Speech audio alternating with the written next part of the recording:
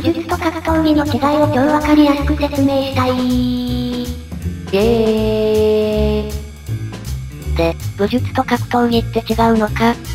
違うからこのチャンネルは、ゆっくり武術解説、と名乗っているんだろうがこの野郎。と言っても、ほとんどの人は武術と格闘技に違いがあるなんて思ってもいないだろうけどね。まあ、普通はそんなことを考えたりはしないだろうからな。というわけで、今回は武術と格闘技の違いについてできる限りわかりやすく解説してみることにするよ。頑張れー。ではまずここに、とある総合格闘家の Y という人物がいたとするよ。Y は総合格闘技の世界では無敵のチャンピオンだ。だから普段から、俺最強俺強えと、ぶっこいていたとしよう。ある日、この Y が突然、戦国時代にタイムスリップした。な、なんじゃあここは。いくらなんでも唐突すぎだろ。タイムスリップした先は合戦場だった。慌てふためく Y の目の前に、増量らしき者たちが現れた。おう、なんだこいつ。味方の目印をつけていないな。じゃあ敵か。敵だな。やっちまうか。当たり前だよな。おい、待てお前ら落ち着け。人を見たら敵と思え。合戦場では敵味方識別の目印を持っていない者は全て敵とみなされてしまう。当然のごとく Y は増量たちに敵とみなされてしまった。こ、こうなったらやられる前にやってやる。あたいだって総合格闘技のチャンピオンだ。得意の打撃と寝技でこんな奴らぶちのめしてやる。覚悟を決めた Y は増量たちと戦う決心をした。日頃鍛えた総合格闘技の技で増量たちに向かっていく。おりゃいくら総合格闘技の世界ではチャンピオンだと言っても、相手は槍を持っている。哀れ Y はあっさりと刺し殺されてしまった。そりゃあまあ、いくら総合格闘技の世界ではチャンピオンだと言っても、槍を持っている相手を素手で同行はできないわな。今度は違うパターンを考えてみよう。いくら総合格闘技が強くても、さすがに槍を持っている相手にはかなわないと悟った Y は、一旦逃げ出すことにした。ージョースター家には伝統的な戦いの発想法がある。それは、逃げる。あ、逃げたぞ。逃がすな、捕まえてあー、ピしてやれ。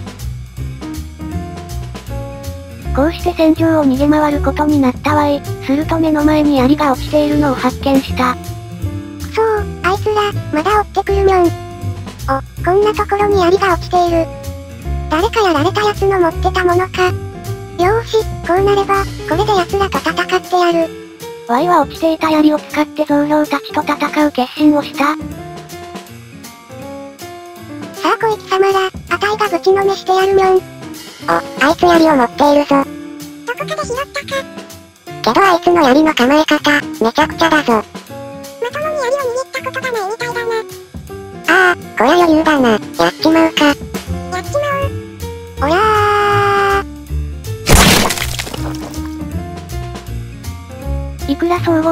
技のチャンピオンといえども、Y は生まれてこの型槍など握ったことはなかった。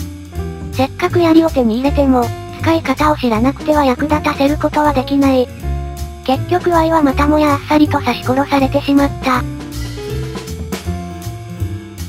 というお話だよ。だからなんだよ。総合格闘技がいくら強くても戦場じゃ役に立たなかったろ。そりゃあまあそうだったけど、むしろ少しでも槍の使い方を知っている方が生きる確率は上がったかもしれないだろ。うーん、まあそうかもな。それだよ。どれだよ？武術というものは本来、戦場で武器を使うための技術なんだよ。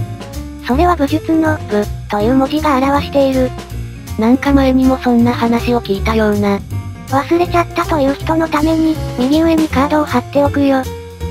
さて、前にも言ったように、武、という文字は、か、という文字と、し、という文字を組み合わせてできている。かとは古代中国の武器で、長柄の先に鎌のような刃を取り付けた武器だ。死は、現在は、止める、という意味になっているけど、本来は人間の足を意味して、進む、という意味だったんだ。つまり、武、という文字は、かを持って進む、という意味であり、戦場で人間が武器を持って進む様子を表しているんだよ。ああ、なんか言いたいことが分かってきた気がするぜ。もうわかるだろ。つまり武術とは、戦場で火を持って進む技術。さらに言ってしまえば、戦場で武器を使うための技術、こそが武術なんだよ。なるほどな、それが言いたいがためにさっきのアホな話をしたわけか。そういうことだね。それに対して格闘技はどうかというと、格闘技ってさ、必ずルールがあるよな。そりゃそうだな。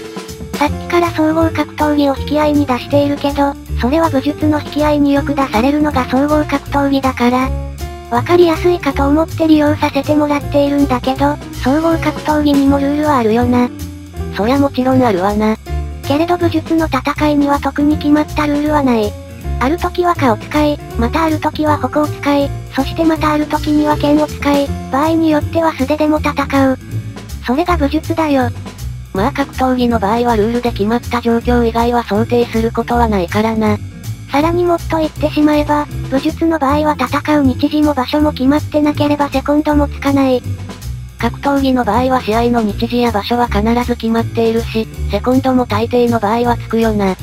とまあ、これだけ色々と違いを挙げたわけなんだけど、要するに格闘技と武術は本質的に違うものなんだよ。しかしだ、武術には憲法という素手の技術が存在するだろ。するな。格闘技というものも大抵は素手の技術を前提としてルールが組み立てられている。つまりだ、素手の技術、というこの点において、格闘技と武術は内容が被るんだよ。本来は広範な内容を持つはずの武術が、ただその一点において格闘技の引き合いに出されてしまうわけだな。そして、今までウプ主が何度も実演してきたんだけど、武術における憲法、つまり体術というものは武器術の補助として使う。そのために武術における体術というものは、武器を持っていても素手でも同じ動作でできるようになっている。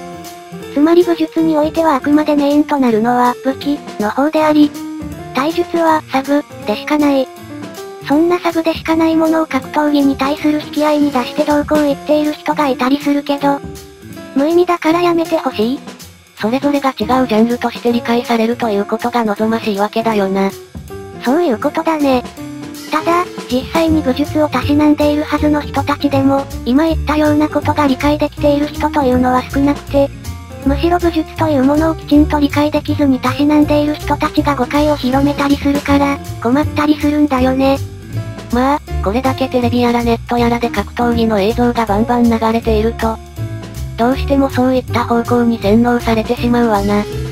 さらにさらに言わせてもらうと、現在の中花ひとたみ政府は伝統的な中国とは違うもので、中花くんは成立以来、伝統的な中国文化をぶち壊す方向で進んできた。